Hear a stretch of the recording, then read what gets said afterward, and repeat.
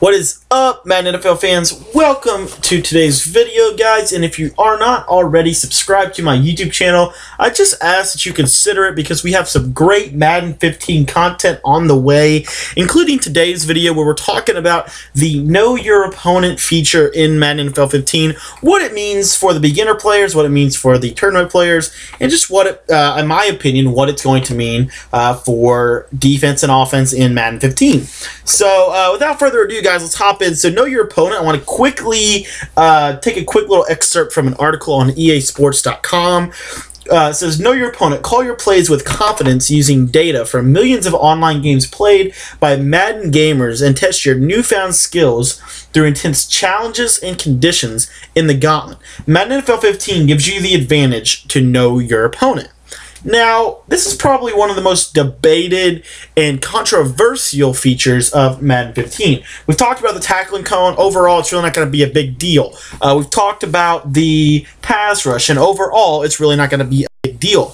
We've also talked a little bit about the uh, a little bit about the two men under and how it could potentially be a decent deal, but at the end of the day, it's not going to be a huge deal uh, in terms of game changing features. Uh, you know, it's just going to make the game play a little better. It's going to make it more consistent. It's going to be really just make it a better game. But now, this feature, this is the one that a lot of people don't like. And I'll be honest with you, I was. At first, when I read this, I was I was pretty much like everybody else. You know, I was like, "What? They get to know my plays? What?"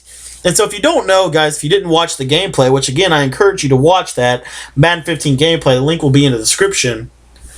Basically, you will be able to know what your opponent is doing uh, every play. So every play is going to show you what your opponent just ran.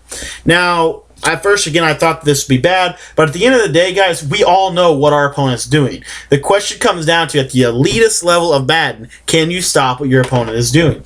We all know that Problem ran 4-6 bear under Madden 13. We all know that Serious Mo was running trips tied in in Madden 25. And we all know that T. Davis was running bunch with the motion snap. The point is, everybody's offenses at some point will, ha- will have kind of a basic idea of what they're going to do.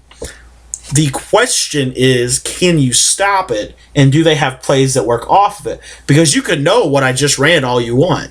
But if you don't know what I'm running right now, is it really a big deal? Let me know what you guys think. Um, do you think this is a feature that is good? You know, in, in the real NFL, you know, there's a lot of scouting and a lot of opportunities to really kind of pick up on your opponent a lot earlier, even than pregame, and uh, you know, have a lot more information about your opponent. So let me know what you guys think about this new feature. I personally think it's a it's, it's a decent feature. I think it adds a little bit more realistic value to the game in the sense that you're going to be able to have a little bit more information to select your play on.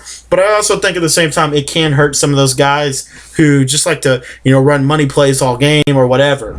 So let me know what you guys think about this in the comment section. Would you think that this feature is going to remain in Madden 15 or do you think it will be taken out every year? Uh, what do you think this feature is and what do you think that it means for Madden NFL 15? Let me know, guys. Thanks for your time.